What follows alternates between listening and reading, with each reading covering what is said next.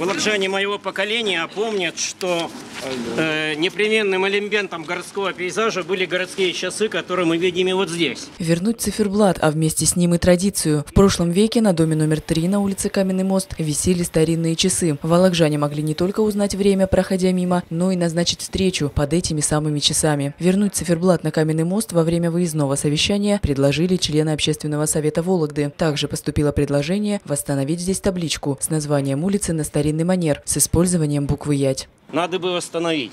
Э, Ну, это вопрос о названии общей, Вот. да, мостов. То есть, К вопросу об э, общих давайте названиях попробуем. мост в Вологде осталось э, 3% объектов культурного наследия относительно общего числа строений.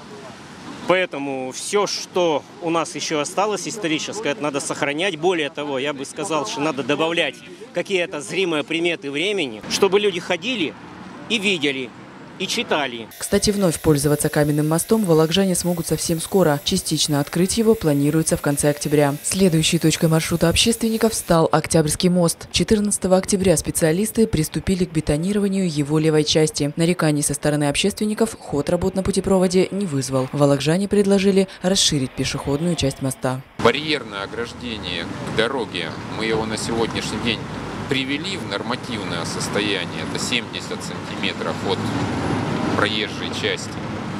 Э, Вопрос понятен. Я его проработаю. Также представители общественного совета Вологды заинтересовал вопрос декора моста. Ранее ограждения были в виде литых чугунных шашечек. Позднее, в советское время, его заменили на вырезанные из стали элементы. Общественники предложили вернуться к прежнему оформлению. Предварительно э, составили перечень вопросов, которые нас интересуют.